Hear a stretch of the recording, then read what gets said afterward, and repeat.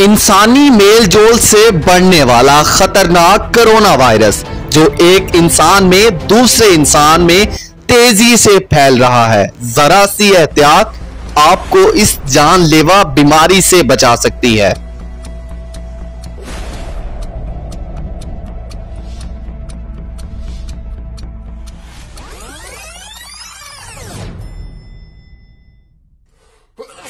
अपने हाथों को बार बार धोएँ। हुकूमत के इस मिशन को कामयाब करने के लिए टूडे न्यूज़ का साथ दें।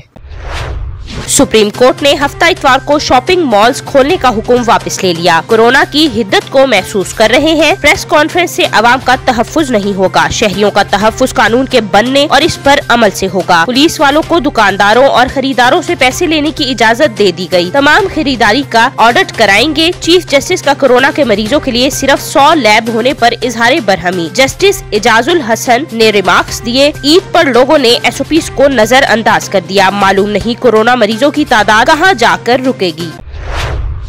शेख रशीद और शाहिद खाकान अब्बासी भी कोरोना वायरस का शिकार। दोनों ने खुद को 14 रोज के लिए घर में क्वारंटाइन कर लिया। शेख रशीद कहते हैं, बजाहिर कोई अलामत ज़ाहिर नहीं हुई। डॉक्टर्स की हदायत के मुताबिक आइसोलेशन में रहूँगा। शबाज शरीफ ने शाहिद खाकान अब्बासी में कोरोना की तस्दीक के बाद एक बार फिर कोरोना टेस्ट करा लिया।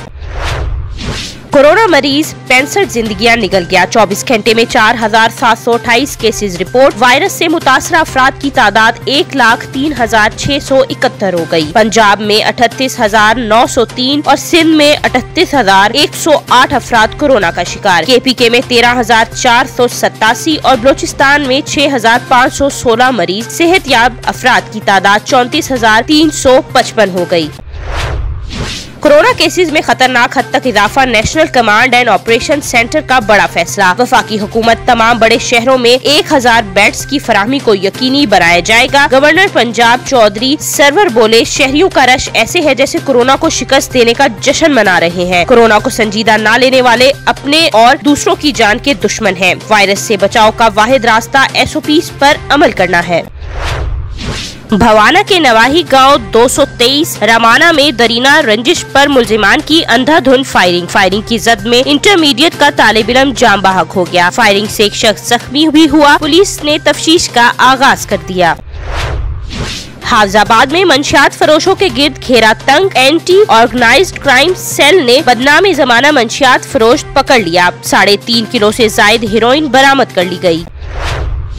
पंजाब में नाकस और जाली जरई बीज की फरोख्त के खिलाफ पंजाब असम्बली में करारदाद जमा करवा दी गई। करारदाद हारूनाबाद से लीगी एमपीए डॉक्टर मजर इकबाल चौधरी की जानब से जमा करवाई गई। करारदाद में डॉक्टर मजर इकबाल का कहना है कि हुकूमत की नालायकी की वजह से नाकस बीज माफिया ने किसानों का दिवालिया निकाल दिया किसान तीन तीन मरतबा काश्त करने के बावजूद बीज उगाने में नाकाम है उन्होंने कहा की बाबू नगर जिला में पैदा होने वाली कपास मुल्क की बेशतर ज़रूरत पूरी करती है चाहिए था की किसानों को वक्त के मुताबिक बेहतर बेहतरीन बीज मुहैया करके, बेहतर पैदावार हासिल करके कपास की दरामद पर इन्हसार खत्म किया जाता। मगर नाहल हुक्मरान बीज माफिया से साजबाज करके किसानों का मुआशी कत्ल करने पर तुली हुई है। उन्होंने कहा कि ईवान नाकस बीज फराहमी का नोटिस ले और जिम्मेदारों को कड़ी सजा दी जाए। ईवान की आला सतह कमेटी तश्कील दी जाए, जिसमें जिम्मेदारों को सजा देने के साथ साथ किसानों को मुआवजा फराहम करने के लिए तरीक़ेकार वजह किया जाए।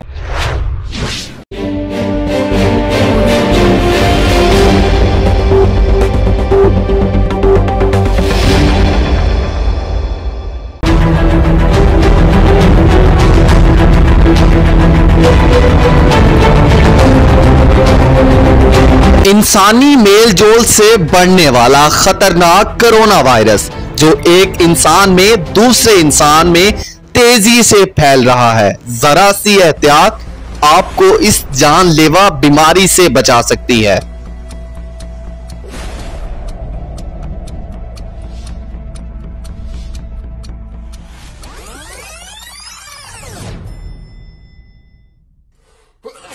अपने हाथों को बार बार धोएँ। हुकूमत के इस मिशन को कामयाब करने के लिए टूडे न्यूज़ का साथ दें।